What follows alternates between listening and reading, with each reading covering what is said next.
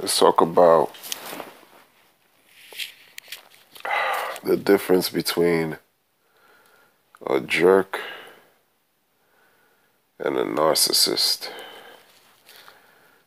A narcissist versus a jerk. Now, a jerk, somebody can be a jerk and you really won't be able to tell right off the bat. Like right away, you can't just really tell that this person is a jerk until they present some unfavorable behaviors or characteristics to show you, okay, here we go. This person is is is is what I'm saying it, it is. He's a jerk, right?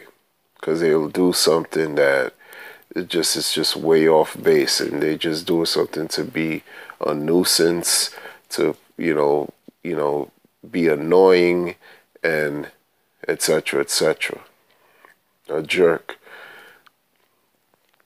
a narcissist.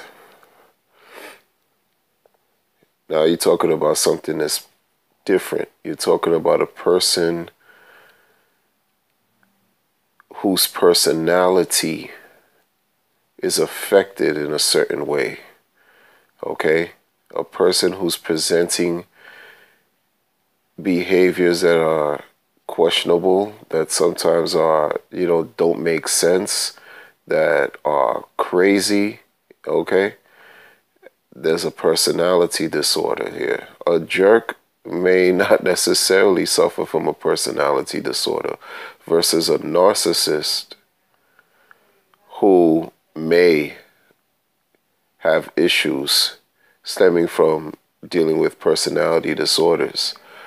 You know, a narcissist is pers- a person who's completely looking to, you know, be this focal point of everyone's attention and tries to control the same people that he's receiving the attention from. You know, he's taking the power away from folks, okay? A jerk doesn't really operate in that fashion. A jerk can be selfish but not have a personality disorder. A jerk can be, you know, uh, uh, greedy, but, you know, not necessarily do these things on purpose per se, you know, to get their way. They're just being a fool okay, or they're just being, a, you know, they're behaving in a way where it's just problematic to you but beneficial to them, but it has nothing to do with, it's not necessarily connected with their personality, okay? A narcissist can present issues that'll make you feel like you're crazy. They could present issues that may to you seem completely illogical but they'll make you feel like you're crazy. A narcissist can also manipulate the hell out of you. Okay, a jerk can too, but a narcissist, their main, you know, one of their main modus operandi is to manipulate, to receive, to, to, you know, benefit from whatever it is that they're trying to take away from you or others. Okay, that's another difference between a narcissist and a simple and a jerk. You know, human beings are complex, yes, but when you're talking about a jerk, let's keep it in the jerk category and a narcissist in a narcissist category. Two separate categories. Okay? Okay. A narcissist, again, manipulates. A narcissist can actually, one minute, they adore you. One minute they're showering you with love, but it's it's not love that they're giving you. It's something that they're doing to bait you.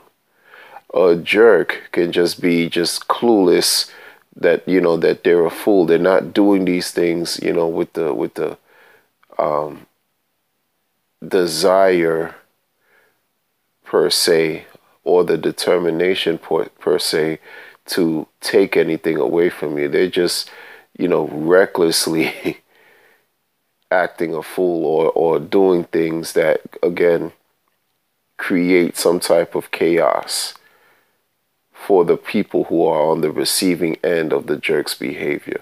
A narcissist is entirely different.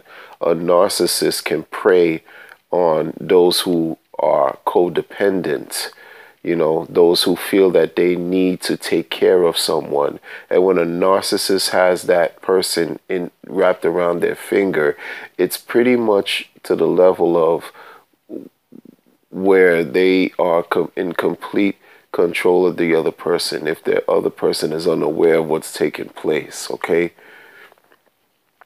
It's to the point where the narcissist can make them feel like they're, you know, you adore them like they're the, the best thing since sliced bread. They shower them with fake love. Notice operative word operative word is fake. Fake love, fake support, attention, and the minute that something goes wrong or goes left or is not in the favor of the narcissist, the devaluation phase comes in where the same person that they loved is someone who they now hate is someone who they now cannot stand. Is it, they they develop a level of disdain for that person. And this happens very quickly in in relatively short quick periods of time to one minute it's one thing and then like a light switch it's something else. Almost like a dr jekyll mr hyde but not not quite that way. But it it's just everything will be fine one moment and the next moment moment it'll be it could be something else entirely different. A jerk can generally move in a way where you know things are not as uh, hyper or not as intense as, as, as what the narcissist presents. A jerk could be a little bit more mild, and, and you know, because a jerk is not dealing with the personality flaw, you know, they're just being who they are. It could be a behavior issue that, you know, can easily be modified. That's not the case for a narcissist. These are just a couple examples of the difference between being a jerk and being a narcissist. Okay? A narcissist, of course, another example is a narcissist would have to also, if they recognize that they have this challenge, may, you know, want to seek professional help to help manage the personality disorder.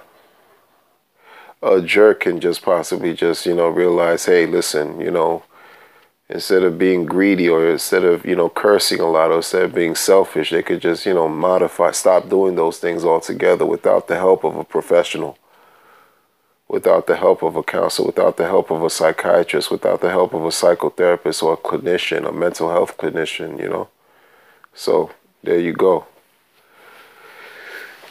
That's just a snapshot you know a brief overview of that I was able to um, come up with with uh, the you know distinguishing the differences between being a jerk and a narcissist or versus a narcissist.